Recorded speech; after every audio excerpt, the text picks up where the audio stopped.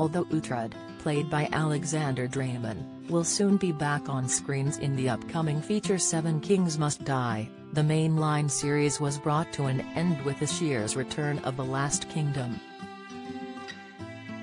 As fans wait for the epic Netflix adventure to continue for one final time, the cast has admitted they often didn't take filming quite so seriously as Uhtred's fight for Bebbanburg.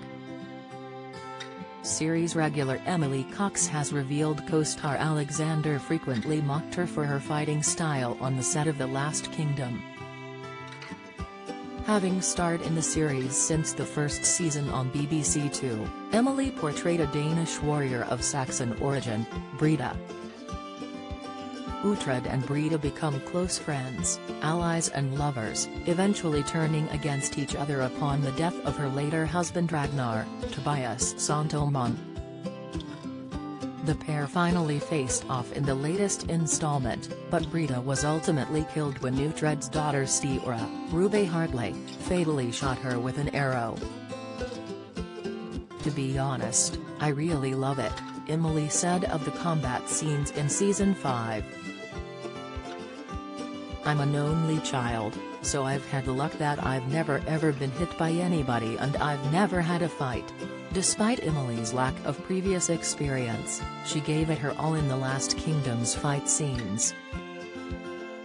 Her epic bout with Uhtred was soon heralded as one of the highlights of Season 5, even if it meant Emily's role as Brida came to a tragic end. In her interview with Netflix, she continued, So I found it really cool to have the sword in my hand and letting some aggression out, it's actually really fun.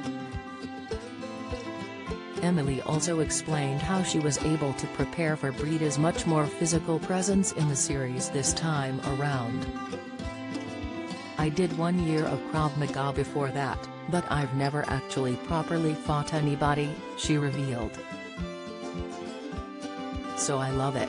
I used to dance a lot, and so I love moving, but it's a very different way of moving. Insight, video, latest, however, Alexander was apparently amused rather than impressed with Emily's rather unorthodox fighting style. Alex always makes fun of me because he always finds it looks a bit like a ballet dancer trying to fight.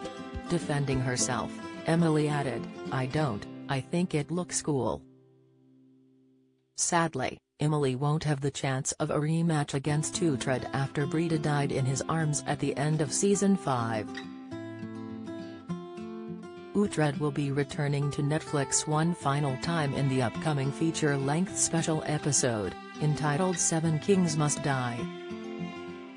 In the meantime, Emily has more roles in the pipeline, including three films, I Know Your Face, The Primary Talent and Alma and Oskar currently in the works. The Last Kingdom Seasons 1 to 5 are available to stream on Netflix. Seven Kings Must Die will be released in 2023.